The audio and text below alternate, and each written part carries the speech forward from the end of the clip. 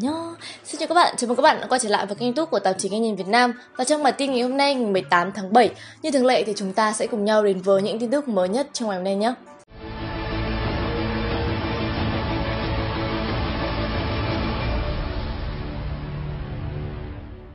Các bạn mến, theo dò dỉ từ một nhân viên Apple tại trụ sở Cupertino, thì Apple đang lên kế hoạch đưa logo cầu vồng cổ điển trở lại trên một số thiết bị mới ra mắt trong năm nay. Vẫn chưa rõ là sản phẩm nào sẽ sở hữu logo huyền thoại này, nhưng máy tính Mac sẽ là ứng cử viên sáng giá bởi logo này từng được sử dụng trên Macintosh đầu tiên vào năm 1984. Tuy nhiên, iPhone và iPad thì cũng không nằm ngoài khả năng và sẽ phù hợp hơn với phiên bản đặc biệt một chút như là Product Red chẳng hạn.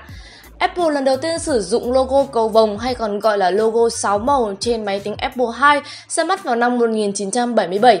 Logo này được sử dụng rộng rãi hơn tới năm 1988 thì bị loại bỏ để thay thế bằng logo đơn sắc gần tương tự như là logo máy Apple đang sử dụng hiện tại. Mặc dù không chính thức sử dụng logo cầu vồng trong hơn 20 năm, nhưng những năm qua Apple vẫn tiếp tục sử dụng cấu trúc màu sắc này trong các video quảng cáo hoặc trang trí tại trụ sở. Gần đây thì giám đốc thiết kế vừa từ chức Johnny Ive đã nói về màu sắc cầu vồng của Apple. Sự cộng hưởng của logo cầu vồng là một phần trong bản sắc của chúng tôi trong nhiều năm. Các bạn mến, Redmi sẽ chơi lớn khi quyết định làm Redmi K20 và K20 Pro mạ vàng với giá bán hơn 160 triệu. Thông tin này được chia sẻ qua một tweet của Manu Kumarchand, người đứng đầu Xiaomi tại Ấn Độ. Ông đề cập tới một phiên bản đặc biệt của Redmi K20 Pro sắp được ra mắt. Mặt lưng của chiếc K20 mạ vàng thì sẽ có vân chéo nhìn cực kỳ cao cấp, gắn kèm chữ K, có đính kèm chữ K có đính đá sáng bóng. Ngoài ra thì nền của bức hình là họa tiết vân carbon, vì vậy mà rất có thể sẽ có thêm một phiên bản carbon nữa. Cấu hình vẫn được giữ nguyên với màn hình AMOLED 6,39 inch, vân tay trong màn hình cùng với 3 camera sau với cảm biến chỉnh 48 megapixel, pin là 4000 mAh, vi xử lý Snapdragon 805 trên Redmi K20 Pro và Snapdragon 730 trên Redmi K20. Dòng Cheese của ông cho biết phiên bản đặc biệt này sẽ có mức giá quy đổi là 7.000 đô, tức là khoảng 160 triệu Việt Nam đồng. Và với mức giá này thì chúng ta có thể suy luận rằng phiên bản đặc biệt của Redmi K20 Pro sẽ được phủ bằng vàng thật và có chữ K đính đá quý thực sự. Các bạn mến, chiếc smartphone mới của Vivo vừa được ra mắt với tên gọi là i7s vì bề danh của Vivo S1 đã bị chiếm giữ bởi một chiếc điện thoại hoàn toàn khác với camera selfie bật lên và máy quét vân tay ở mặt sau.